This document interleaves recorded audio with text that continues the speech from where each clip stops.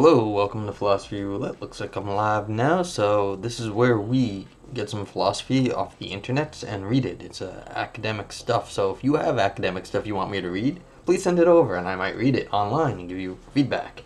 And people like feedback, so you should do it.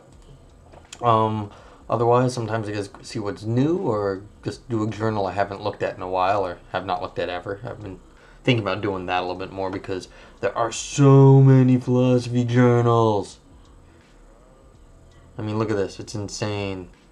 And there's a whole bunch of really good ones that I realize don't make it to the front page of uh, Phil Paper, so I'm like just been looking at some of the ones I haven't looked at in a while or haven't looked at at all just because they don't show up on the front page of what's uh, uh, on the front page of Phil Papers. That's basically it. And it's not even to say that uh, there's lots of great stuff. So, uh, see, this is one. This is a good journal right here, American Philosophical Quarterly. Never clicked on it before, so it's like we'll find out.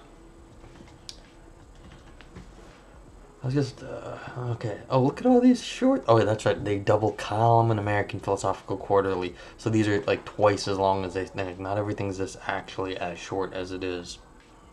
Double columned.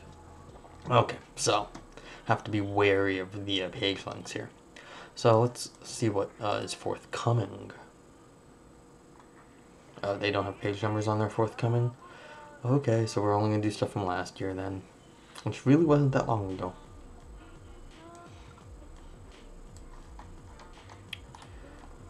Ooh, deflating truth about taste. That sounds fun.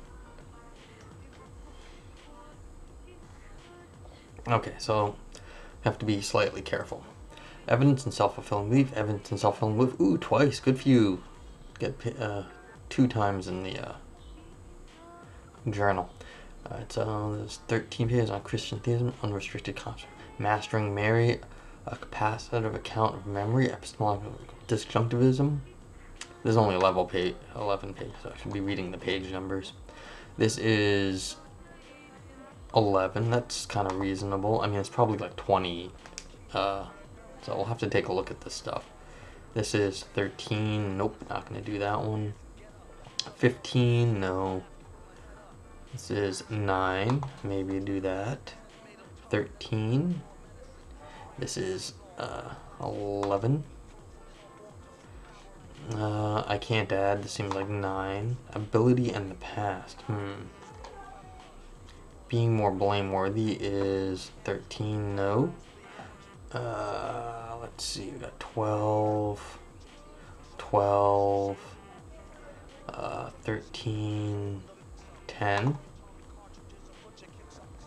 modesty as an executive virtue. That's 14 uh, this is 15 9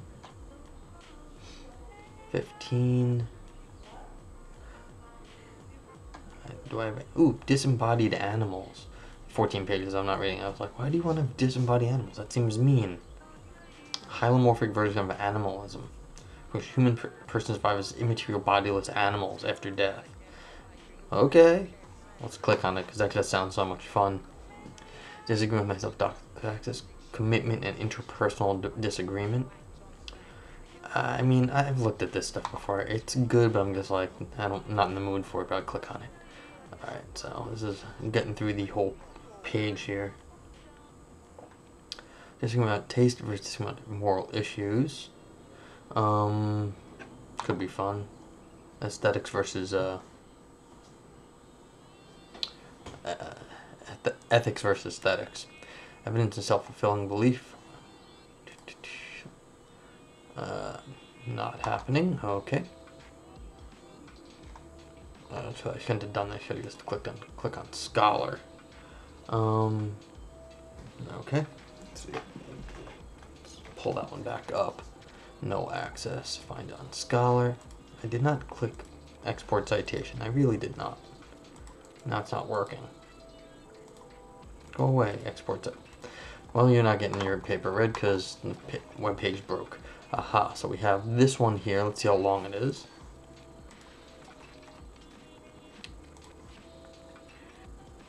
Uh, can't find it.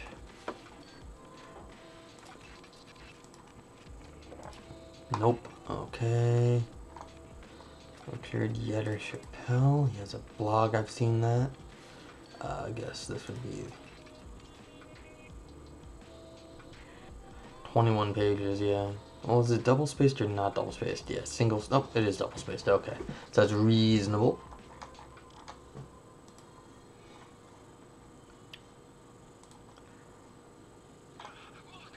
Uh, this one just sounds fun. 19, but single spaced. Yeah, it's a little scary to me. Uh, let's see. We got this one. Not available. And let's see what this one says.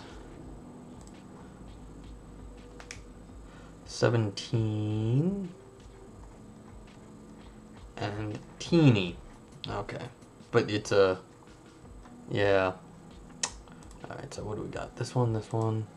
This one is 21, but well, only kind of double spaced. It's still pretty scares me. Oh, what is this one? Um, this is 16 and not quite double spaced and very wide.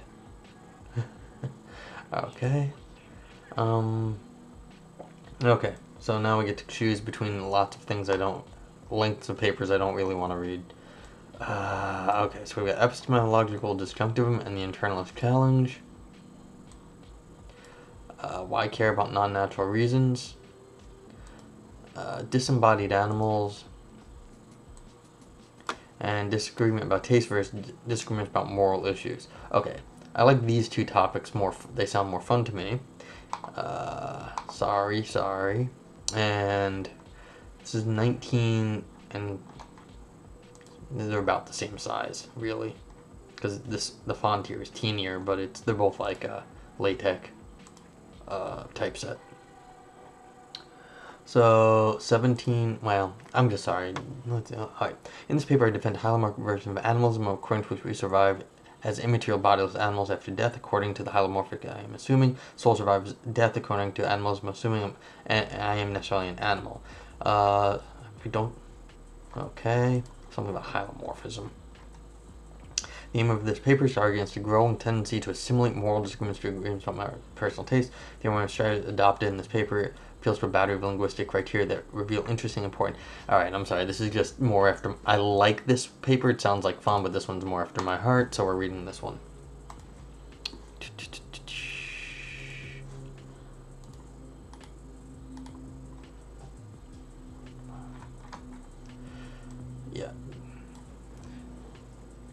As I've said before, philosophers are people, and a lot of random stuff goes into a lot of the uh, decisions that are made. So you think like, oh, these are important topics. No, sometimes it's just, you know, historic accident, historical accident is why anything happens. I mean, you can always make up a reason if you want, but that doesn't always mean it's uh, as important as you. Like, it might really be the way things are, but that doesn't mean it was like super important at the time or is not what you think it is. Very little is what you think it is. okay, and if you join me live, um, which I always hope you do, you can grab a copy of the link to the uh, Phil Papers page by typing exclamation point uh, paper in the chat box, and it's in the uh, show notes if you're watching this uh, below, if you're watching this after the fact. Okay. You know what? Might even zoom in a little because this is small. And I've said this before, but I love this PDF viewer. It's called Okular. Um, I think it's put out by the KDE Foundation. It's just been so nice to use. Um, like all these little like annotation features here. It, it's just been. I was looking around. I was like, oh my god, this thing is great. Okay, enough of my uh, complaining about other stuff. Disagreements about taste versus Disagreements about moral issues. The phenomenon of faultless disagreement has been one of the most discussed topics in philosophy of language over the past 15 years. It has triggered a great deal of interest in predicates of personal taste, henceforth PPTs. Predicates of personal taste, PPTs, as such as delicious and fun, not only in philosophy but also in linguistics. By faultless disagreement, I mean the uncontroversial observation that there are situations in which the two parties appear to be disagreeing, but at the same time there does not appear to be any clear objective way of telling who is right. The puzzle puzzling observation is typically presented via dialogues of the following form. Noriko, this is delicious. Suleiman, no it isn't. this is really how we do this. I didn't know that. I don't read like this literature, but like this is like this is how we typically do stuff. This is delicious. No, it's not. It's like what are we five again? I mean, I think that is a lot of philosophers' discussions are like between five year olds, and we're just trying to figure out what a five year old is saying. It's like maybe this is not how we should be uh, judging what is going on. Um, and this isn't a criticism of this author. It's typically represented. Uh, I mean, that's sort of the state of state of affairs. Okay, let the dialogue be taking place in a restaurant and let this refer to freshly chopped parsley. Well, parsley's nice. Suppose that parsley tastes delicious to Noriko but awful to Suleiman. Then it seems that neither of them is at fault in what they are asserting, or at any rate, that neither of them is wrong in the same way as the one who asserts, say, that Yerevan is in Syria. At the same time, the conversation in one looks like disagreement, which is indicated by the use of negation part of the negation particle no, followed by Suleiman's assertion, the negation of the sentences asserted by Noriko. This paper is not concerned with the question of how best to account for faultless disagreement. Rather, it is concerned with the question of whether disagreements about matters of personal taste are to be explained in the same way as moral disagreements, which are also taken to generate resilient disagreements, disagreements that cannot be resolved in any straightforward way by appealing to matters of fact. Consider Noriko. This is morally wrong. Suleiman, no it isn't. Let this refer to a certain action that is approved by the, of by the system of moral values endorsed by Suleiman, but disapproved of by the one endorsed by Noriko. To make it concrete, let them be talking about Suleiman's enjoying porn movies. Our question is then whether the disagreement in 1 and 2 ought to be accounted for in the same way. This may be the first time I've ever heard someone uh, uh, uh, make a comparison between uh, freshly par- chopped uh, parsley and porn movies, but that's why you read philosophy for weird comparisons. Of course, 1 and 2 differ in that, well, one's about parsley, one's about porn. Although they both begin with the letter P. this episode is brought to you by the letter P different in that one gustatory concerns gustatory taste and two morality. But once we abstract over their respective domains, do one and two display the same pattern? Common sense will answer no. Most of us are happy with the idea that our gustatory preferences may diverge, and that in such cases there is no point in arguing whether something tastes delicious, as the proverb has it, de gustibus non disputatum, disputandum you know, it's interesting because I used to hate yogurt, and when I was a like little kid, and now I love yogurt. Like I have it almost every morning. So I'm not sure that like you can like mature in your taste. So it could be like there's immaturity in uh, gustatory preferences too. So it's not that it's not disputable because you like someone you could be like they have an uncultured palate. I mean, pretension is part of the job description of being a philosopher. So that's okay if, that I can say that. um,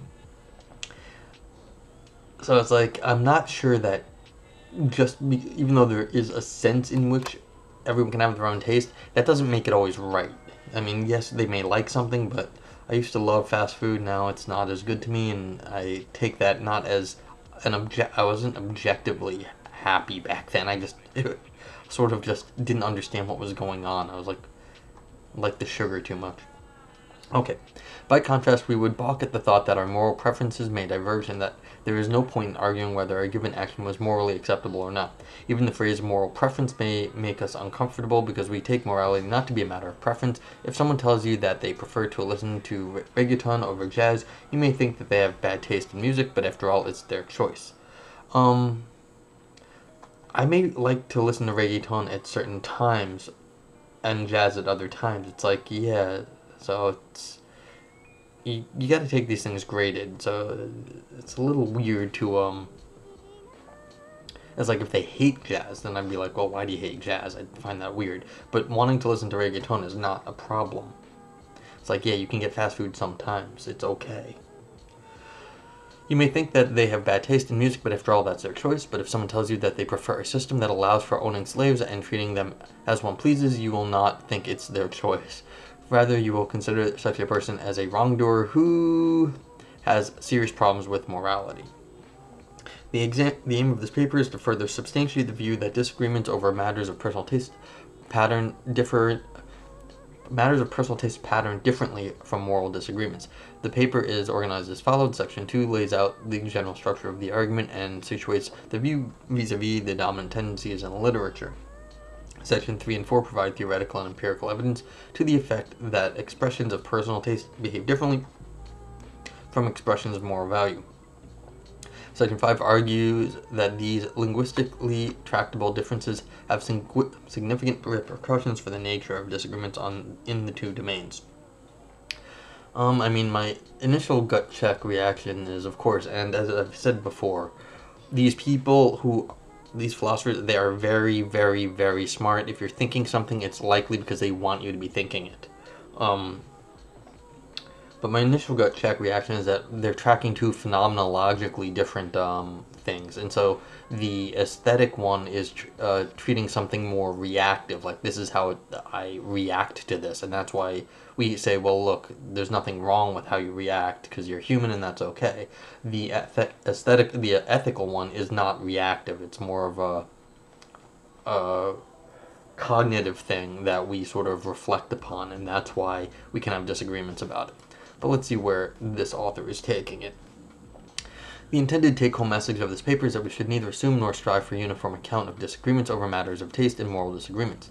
As already pointed out, the position defended here is supported by common sense. Um, I wouldn't always assume common sense is right, though. One may wonder then why there should be any need to argue for such a position. The reason is that the dominant trend appears to go in the opposite direction.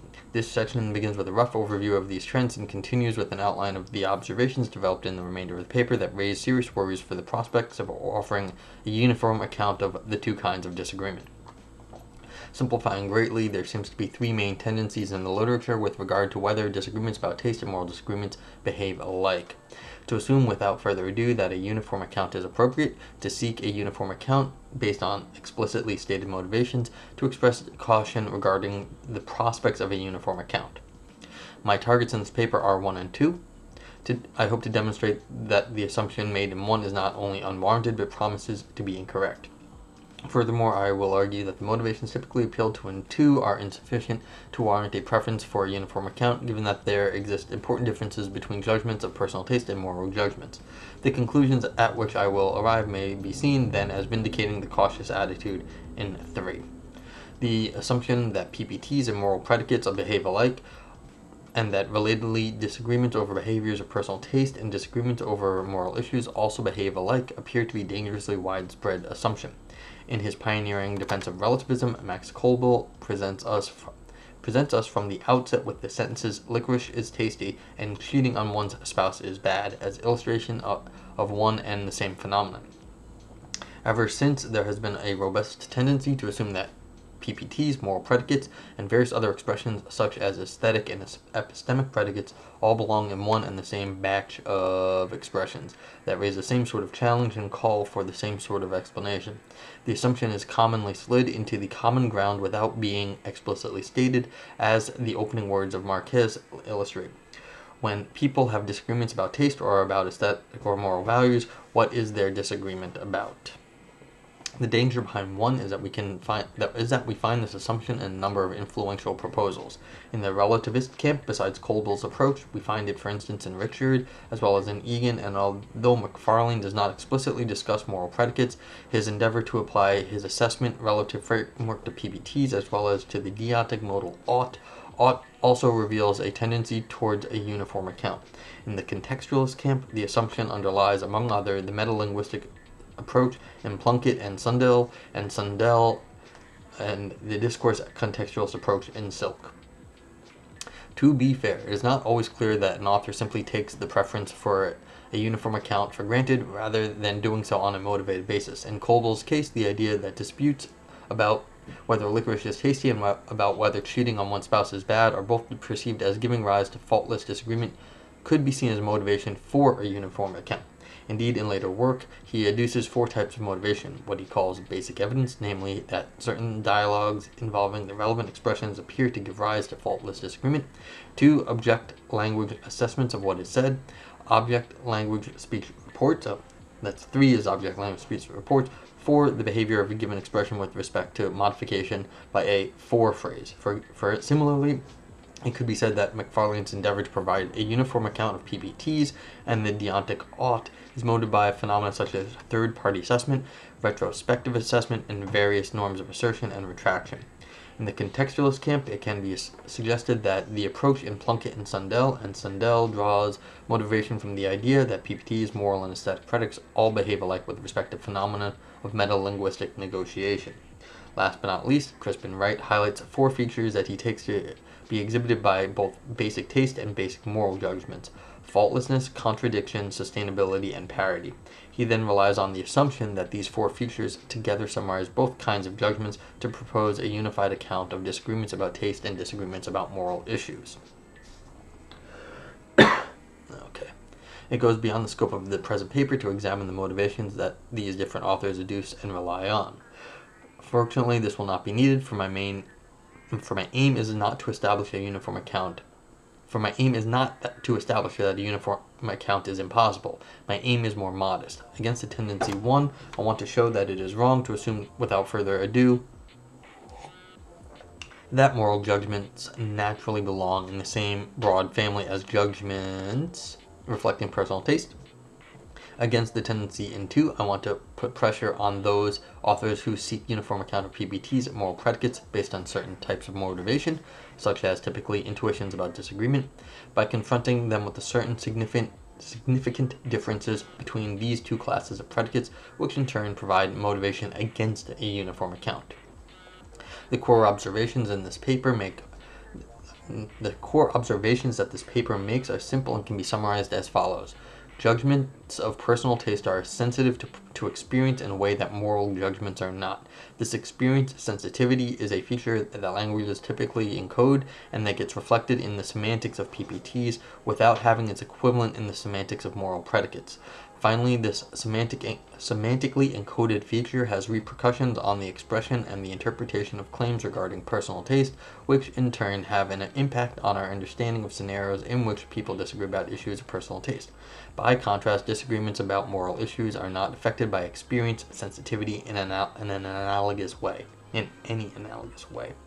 Yeah, so here's where we're going. Experience sensitivity is something like what I was saying above.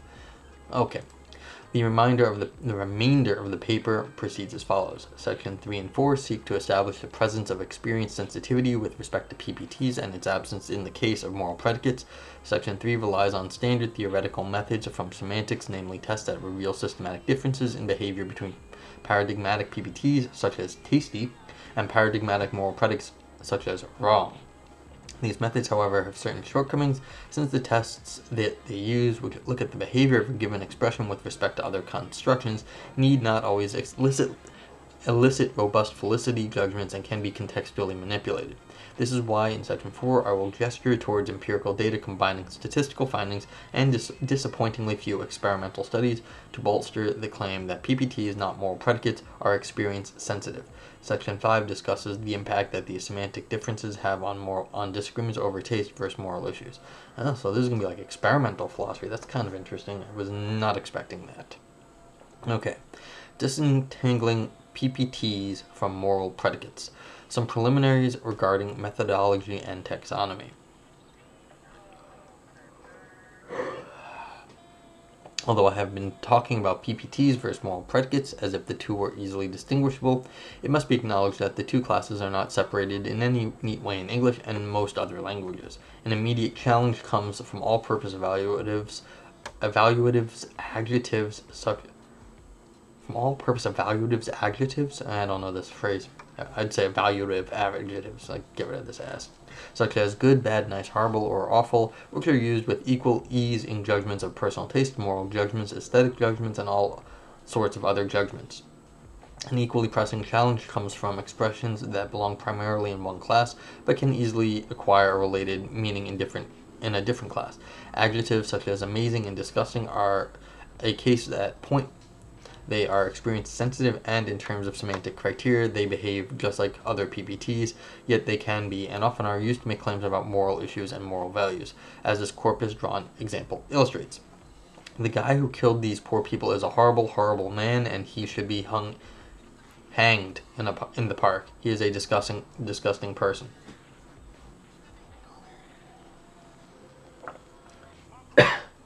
Polysemy and coercion are mechanisms that allow words to shift their meaning and sometimes even grammatical category, and they are robustly entrenched in human languages.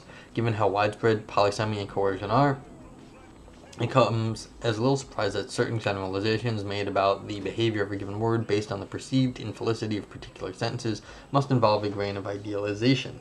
The lack of robust, all or nothing linguistic judgment is not peculiar to theorizing about predicates, but arises in virtually any area. Uh, this is a normal thing that we are not. Pres- our words are have all have multiple uses, and so you have to. The phenomenon cannot just be read off the uh, just read off the page on which word is being used. There's no one word that just obviously goes one way or the other. And if there was, it'd be very strange, and we'd have to investigate that. Okay, so how do you actually define this? Threshold sensitivity and comparative disagreements. Our main question is whether PPTs behave in the same way as moral predicates. I will argue that there are important differences between them. Recall, though, that we should not expect to find a clear cut demarcation that will completely set apart the two class, classes of predicates. What we should expect to find, rather, that a par- paradigmatic predicates of personal taste tend to behave in one way, while paradigmatic moral predicates tend to behave another way. Importantly, the differences that I'm about to highlight do not preclude that there are, excuse me, do not preclude that there may also be important similarities between PPTs and moral predicates. One feature that many PPTs have in common with mo- many moral predicates, but also many pre- many predicates of all kinds, is that they are gradable ag- adjectives. Gradability is one of the most fund- most discussed features of adjectives. Let me illustrate it with the help of the adjective long. Consider two train rides, one that takes 3 hours another that, takes 35 minutes. While we can truly say that the first is longer than the second, neither the meaning of the adjective long nor facts about the world allow us to decide whether, for either of those, we can truly say that train ride is long. The reason is that, compared to a train ride that lasts many hours or even days, such as the Trans-Siberian, a three hour ride is short, yet compared to a short distance rides that take less than an hour, the same ride is long. One consequence of this phenomenon is that relative gradability, gradable adjectives easily give rise to faultless disagreement. If you are used to short distance rides and I am used to rides that last for four hours, then you will be easily led to assert that the three hour ride is long and I will be easily led to deny this. Yet there does not seem to be any objective way to educate, adjudicate our dispute. Okay. Yes, things are relative. Because relative adjectives allow their thresholds to vary with the context, they give rise to disagreements that can be accounted for by pointing to the fact that the two parties fail to converge on the relevant context. That is to say, they fail to agree on what the appropriate threshold is. Um, I don't know if this is the way I would describe describe it. I mean, I don't know if there's an appropriate threshold on long. It's sort of a positional thing. Like, what position are they taking? What counts as their, what counts as their fundamental context? Um, so I don't know what threshold Alright, but alright, um, more than way to uh, slice a cake, so maybe it's fine here. Given that most PPTs, moral predicates, and all purpose evaluatives are also gradable, they can give rise to disagreements that boil down to disagreements about where the threshold lies. We consider two. Noriko and Suleiman's disagreement whether his taking pleasure in watching porn is morally wrong does not actually require that the two of them diverge deeply in their moral judgments. Suppose that for any give, two given actions, when asked which of the two is morally better, or whether neither is better than the other, Noriko and Suleiman give exactly the same answer. We would see Noriko and Suleiman as largely agreeing in their moral judgments. Nevertheless, they could still disagree in two because they can disagree over two over the extent to which an action must deviate from their shared moral standard in order to count as morally wrong. For example, Suleiman may fully agree that it is morally better to abstain from watching porn than to do than to do so, and still hold without inconsistency that the former, although morally worse than the latter, is not yet so bad as to count as morally wrong. Okay. In order to demarcate the subjectivity found in PPTs and in evaluative adjectives from mere threshold sensitivity, various authors have urged us to shift the focus of attention from the position from the positive form to the comparative form. To wit, single scale relative adjectives such as long or expensive no longer give rise to faultless disagreement when used in the comparative form. Consider Rico. The train ride from Paris to Brussels is longer than the one from Brussels to Amsterdam. Suleiman. No, the one from Brussels to Amsterdam is longer. Rico. The soup is tastier if seasoned with parsley. Suleiman. No, it is tastier without it. And we go. Taking pleasure in watching porn is morally worse than stealing books from the library. Suleiman. No, stealing books is worse. To settle the disagreement in four, which is I've forgotten already. Oh, the temporal time difference between two different rides. For all that is required to measure the length of respective rides, while no obvious strategy can help in settling disagreements like 5 or or in 6. In this respect, PPTs and moral predicates behave alike, but this is not surprising since among gradable adjectives, those that are relative to a single scale, such as long, length, old age, and or expensive price, appear to be the odd ones out. Yeah, I mean, there's um, I mean, talking about like uh, you can like objective things versus non-objective things, but I mean, if you can talk about like a, this is like just uh, it just I'm not entirely uh, sorry, maybe I got a little confused for a sec, but the train ride from Paris to Brussels is longer. That's like an objective like thing on the clock. I mean, the moral and aesthetic are so that seems like a different sort of category. But I guess the uh, point holds. You can still have this comparative uh, thing in other areas, but I don't know how the difference between the uh, objective is really doing work here. Anyway, maybe I just lost it for a sec.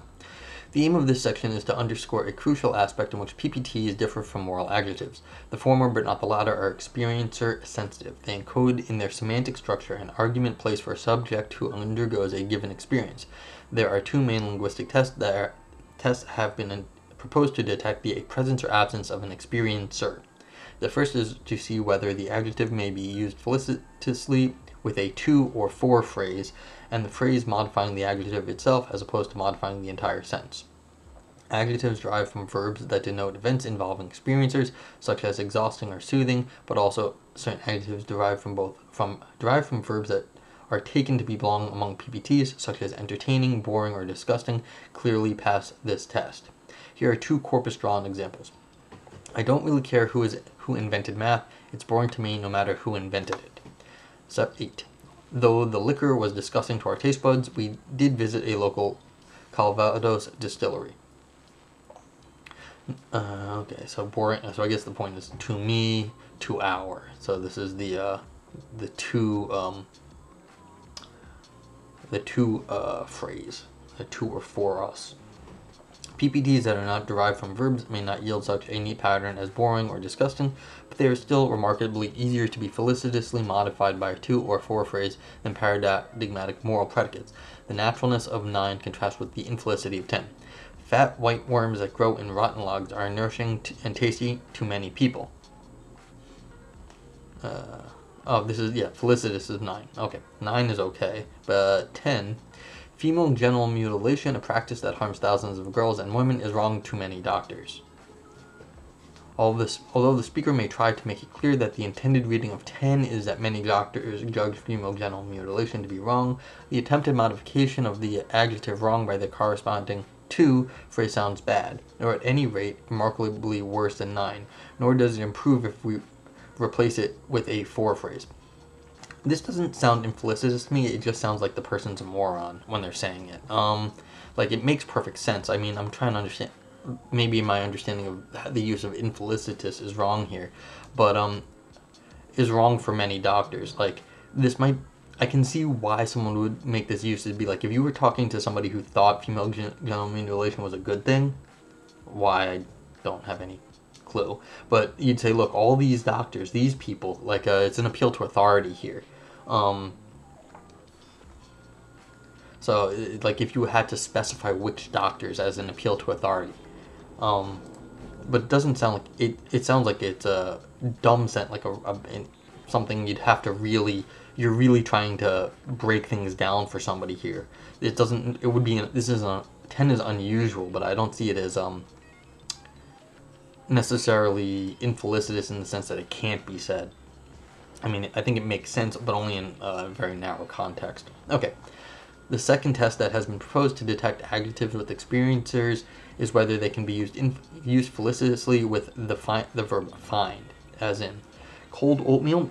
The idea sounds disgusting, but I can't stomach another bite of hot oatmeal, so I try, so I try it and find it delicious. Okay, okay. So the idea sounds disgusting, but I can't stomach another bite of hot oatmeal, so I try it and I find it delicious. Okay. However, this test may be treacherous because adjectives that arguably do not come with ex- an experience or argument can, in suitable context, felici- felicitously co-occur with find. Thus, presented with a 70 euro bill for a one-person meal, you might say, I find this meal expensive. The fact that 12 sounds felicitous, yet not yet evident that expensive encodes an experience or argument. Rather, we argue that McNally and Stojanovic the speaker of 12 is conveying that they are judging the meal to be expensive based on their previously experience with meal prices. Thus, is, thus appearances notwithstanding, the find construction introduces an experience or argument, even if the argument is not lexically associated with the embedded eh, adjective embedded under find. The fact that find can easily force the introduction of an experiencer by the mechanism of coercion will not yet will not yield infelicity results that are neat as one might wish when applied to moral adjectives. Nevertheless, it can be argued that there is a pronounced preference for doxastic for a doxastic phrase such as believe or consider over the experiential phrase find. Mainly doctors consider find female genital, female genital mutilation to be wrong. Okay. If we want 13 to be a claim of many doctors' moral judgments on female genital mutilation, then we will prefer to use consider rather than find. This is not to say that find sounds impossible in such constructions, but as repeatedly stressed, what we are seeking to establish is that the experience sensitive adjectives such as disgusting or tasty occur with a much greater ease and propensity with experiential constructions for, to, and find than moral predicates do. Okay, so this is reasonable uh, what they're saying here, author saying, because even though they're saying this is infelicis, we're talking gradable, and so you have to sort of do a lot more work to make sense of that, which is what they eventually got to here. So this is just a little bit. I mean, they spelled it out. God forbid they actually were like, they took some time and made everything clear. All right, sorry. Empirical evidence for experience sensitivity. My aim is to show that, from a linguistic point of view, moral predicates do not function in quite the same way as PPTs. So far, I have appealed to the theoretical evidence for a distinction, which appeals to two criteria for diagnosing the presence of an implicit experience or argument, both of which rely on felicity judgments. However, one may be left with a slight feeling of frustration because felicity itself is not, yeah. Oh my god, this person knows what they're talking about. Okay. It comes in degrees and is sensitive to context and if a moral predicate can be made uh, with the help of the context to sound felicitous in a construction that aims to detect experience sensitivity, then one may wonder whether we have any solid evidence for the distinction. The issue is actually much broader than the case of PPTs versus moral predicates and relates to questions about, about semantic methodology and metasemantics.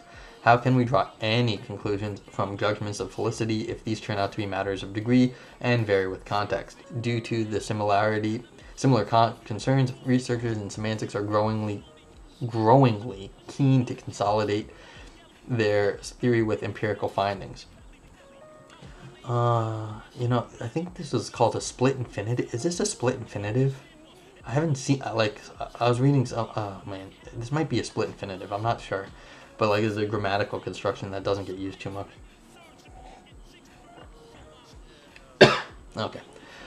The first kind of empirical evidence related to the present debate is quantitative evidence. In a nutshell, instead of picking out a predicate, putting it into a to or for or find construction, and asking ourselves how felicitous the result sentence sounds to us, the idea is to see how likely that sort of construction is to occur in natural discourse and text. In different terms, the idea is to look for quantitative measures that reveal a difference in behaviors of PPTs on the one hand and moral predicates on the other hand. Quantitative approaches of this sort are used in computational linguistics, although applications to truth conditional semantics and in particular to the semantics of adjectives have been scarce so far. A notable except exception is Sassoon 2013, who uses quantitative data to motivate the division between unidimensional and multidimensional adjectives, as well as some subdivisions among the latter. Although, to my knowledge, no extensive study has been conducted to compare the behavior of PPTs and moral predicates, some relevant preliminary evidence is reported in McNally and Stojanovic, who examined a representative sample from the British National Corpus involving the find construction. Their findings reveal a sharp contrast between, on the one hand, all purpose evaluatives, good, bad, great, excellent, mediocre, awesome, and aesthetic evaluatives, beautiful, pretty, ugly, gorgeous, which hardly ever appear with the find construction, and on the other hand, experience or sensitive adjectives, difficult, hard, easy, interesting, which appear with much greater frequency. To be sure, this pilot study does not yet provide conclusive evidence that would clearly demarcate PPTs and moral predicates. However, it does point to a promising direction of research that could corroborate the theoretical claims made in the last section. Um, yeah. I mean, I guess you could do some sort of like a uh, a big data study where you just get a whole bunch of books and search for the uh, relative distance between the two words. Um, like, are there greater distance between the like the aesthetic value which is defined and the two and stuff like that? You could just count like the distance in like words, and you could just run that like as a search. I just don't know what this sort of uh this study was. Uh, so yeah. But I mean, this is like definitely doable, so this is an interesting suggestion. The second kind of empirical evidence comes from experimental research in semantics and philosophy. Experimental methodology is a recent trend in both areas, which explains why here too there are virtually no studies regarding the presence or absence of an experience or argument. Here I'll only draw attention to the recent study of Kaiser and Lee, who conducted an experiment to test the claim that PPTs involve experiencers while other multidimensional adjectives don't. The gist of their experiment was to compare contexts containing verbs that introduce experiencers versus verbs that do not, under the assumption that a recently mentioned experiencer would more easily perceive be more easily perceived as the judge in the interpretation of PPT, that is, as the person whose taste is relevant to deciding whether something is tasty, irritating, or boring. Kaiser and Lee presented their participants with pairs of sentences of the following form. Lisa A. nudged, B. looked at Kate. She was C. irritating, D. smart. The stimuli contrasted agent patient verbs, condition A, with experience theme verbs, B, and also contrasted PPTs, condition C, with other multidimensional predicates, condition D. The participants were then asked, in whose opinion is the other person irritating smart? and could select between Lisa, Kate, and the narrator. Um, slightly worried about like the, some of the presuppositions built into these sort of things. Um, because of the way we this is not well understood, the idea is to get something, uh, some empirical data from asking lots of people this stuff, but uh, I don't know. It just uh, seems very hazy to me at the moment. Kaiser and Lee's hypothesis was that when a PPT condition C is preceded by an experiencer theme verb condition B, the experiencer argument of this verb is more likely to be chosen as the judge for the PPT than is a non-experiencer argument of an agent theme verb condition A, while the other multidimensional adjectives smart are not experiencer, experiencer sensitive. See, this is what I mean, like smart. You can experience someone as smart you can like that could be an aesthetic thing. That doesn't make it objective. Like this is why I'm worried because um, irritating or smart, you can like someone can like rub you the wrong way. You can they can also can come off as clever. That might actually be a one of those uh, I don't like clever people sort of things. Um, where you're it's sort of an aesthetic thing, like the way someone uh, acts about themselves. Um, th- that's what like smart can also mean, is sort of like arrogant and uh, over intellectually, uh, just proud. And so, sorry, my bias against philosophers showing here. Um, but like, apologies to all my audience. Um, but uh, it's like so. I'm not sure that we have the right understanding of what uh the adjectives are to begin with, and so and how they get used all the time, and so that might muddle the uh, results and these sorts of things. Okay, so smart are not experienced or sensitive, which I just disputed then there should be no such asymmetry for those. The results confirm these predictions. The patterns with experiencer theme verbs show that in contexts where an experiencer is available, it is indeed a highly preferred choice as the judge of PPTs. Additional analyses show that in conditions with experiencer themed verbs, the rate of subject uh, opinion responses is significantly lower with multidimensional adjectives than with PPTs, indicating that multidimensional adjectives do not seek out experiencer judges as strongly as PPTs. Okay, very nice. So they got some clear results. That's excellent. To be sure, the study says nothing about moral predicates. Nevertheless, the contrast it reveals between PPTs and predicates such as smart is a reason to expect a similar contrast to arise in a mirror study on PPTs and moral predicates. Yeah, so I guess these moral predicates are meant to be some sort of uh, sort of objective, like smart would be. Well, not objective, but according to some sort of uh, external theory. Hmm. Consequence for disagreement. All right, getting there. That's uh, 13 of 17 pages. Almost there.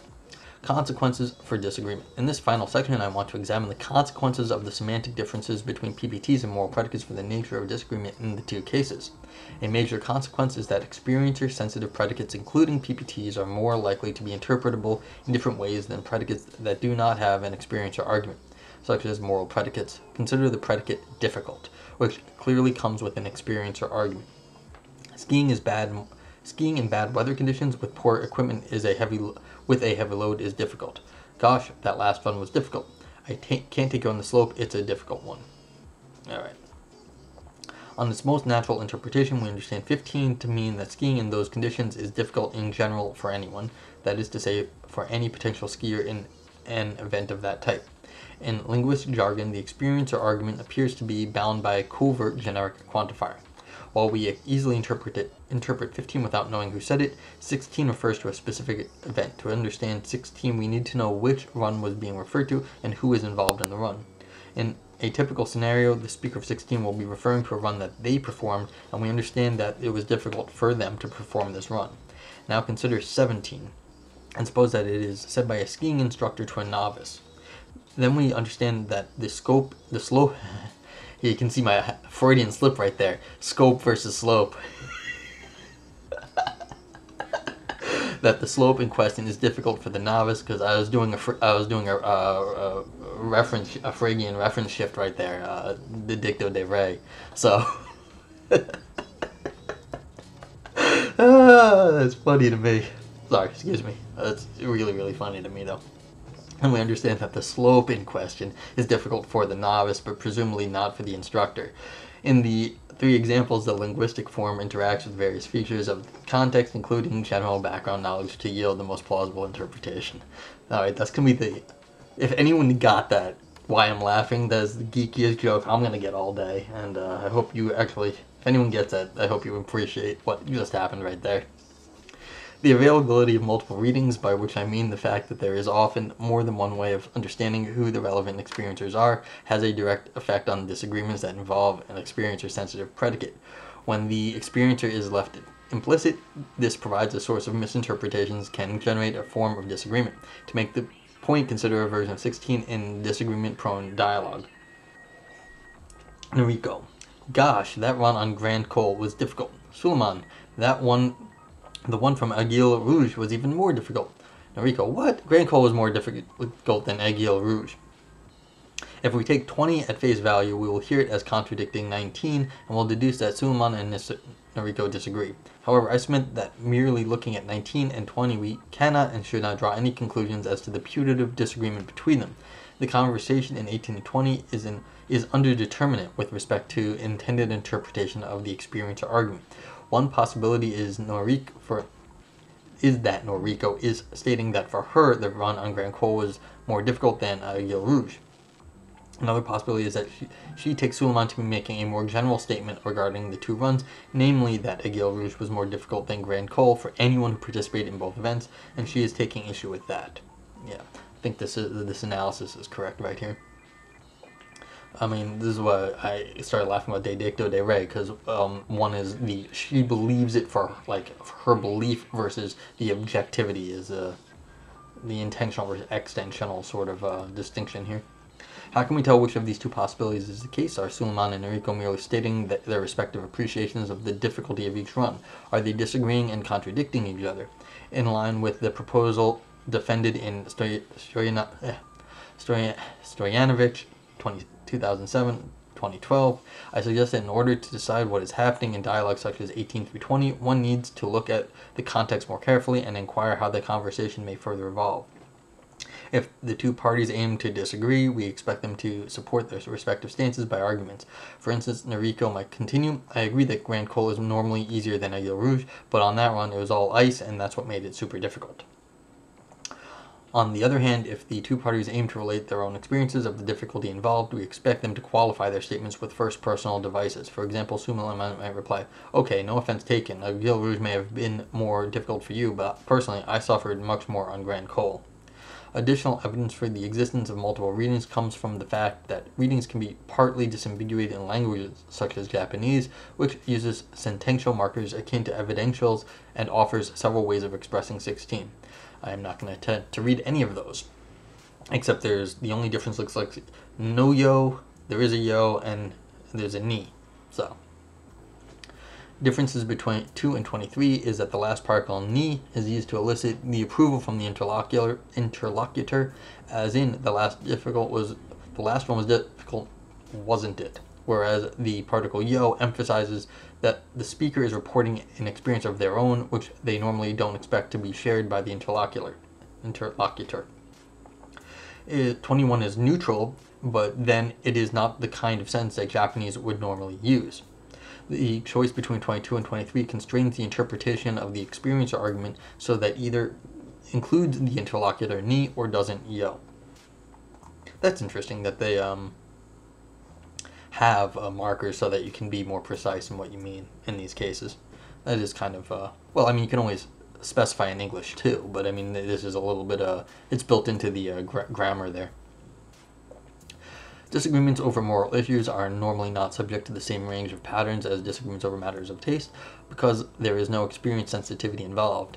If two parties engage in what it looks like a disagreement over the question of which of two courses was actually morally better, they are deprived of the possibility of saying, okay, no offense taken, I can see that you prefer this course of action, but my moral preference goes the other way.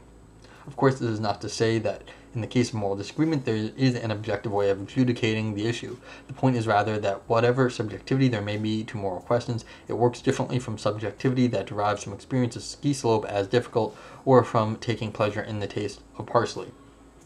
The latter corresponds at the level of language to experience sensitivity, and because questions of taste depend in the way on our gustatory or other experience of an object, PPTs encode this dependence in their semantic structure. As a consequence, sentences involving PPTs are subject to a range of interpretations that are simply unavailable for moral predicates which lack this kind of argument.